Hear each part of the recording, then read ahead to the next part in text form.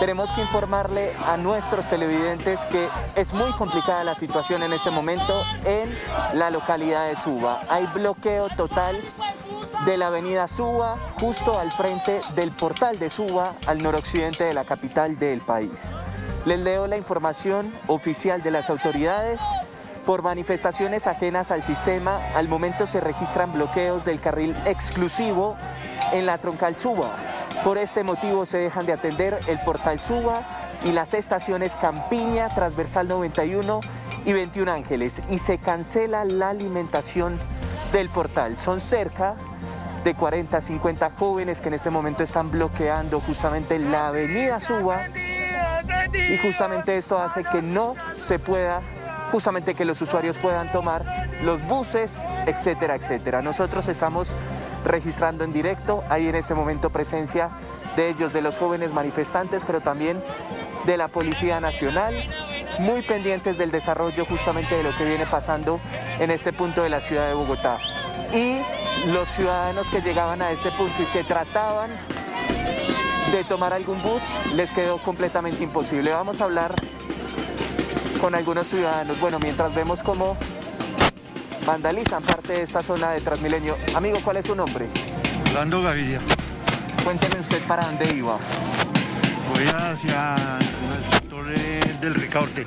Por supuesto no pudo tomar bus. No, nos sacaron porque nos hicieron subir en el, en el Transmilenio del 84, pero no dejaron entrar al portal ya. O sea, usted no pudo entrar. Ni las bicicletas ni las motos las están dejando pasar. Bueno, muy bien.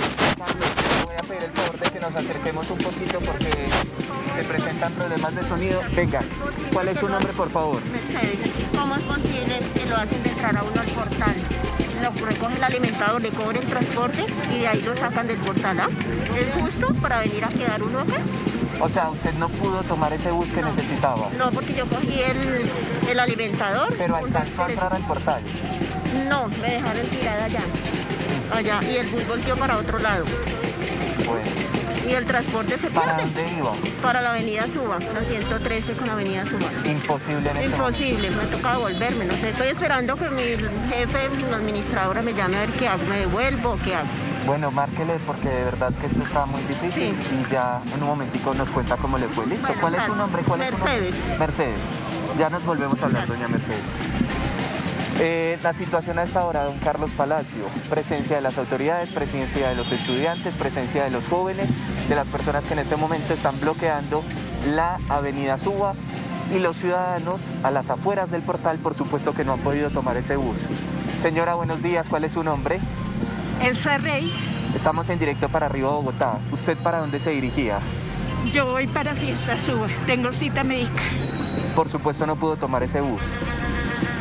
No sé, pues está en veremos porque hasta ahora voy para allá. ¿Cuál es su nombre, por favor? Catalina, ¿Cómo ve la situación aquí en Suba? por ahora tranquila. Y nada más. Bueno, muchas gracias por estar con nosotros. Bueno, ahí están viendo ustedes las imágenes. Vamos a retornar al estudio y en segundos, en solo segundos volvemos con el desarrollo de esta noticia de lo que está pasando aquí en la avenida Suba.